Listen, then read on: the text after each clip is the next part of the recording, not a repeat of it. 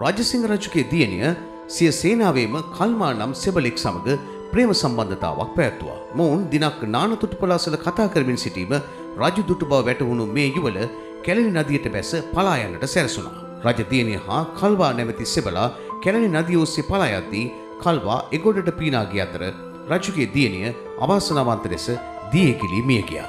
මේ ගිරාම්ලේ කුසනේරුව වක්කොය මෝදර පීටා තියෙන්නේ මේ සීතාව රජසිංහ රජරුවන්ගේ දූකුමරිය භූමිසන් කරපු තැනයි. අද අපට දක්නට ලැබෙන මේ කබොක්කොලින් තනන ලද ගොඩනැගිල්ලෙන් අපට එම දුක්පර අතීතයයි සීපත් කරන්නේ.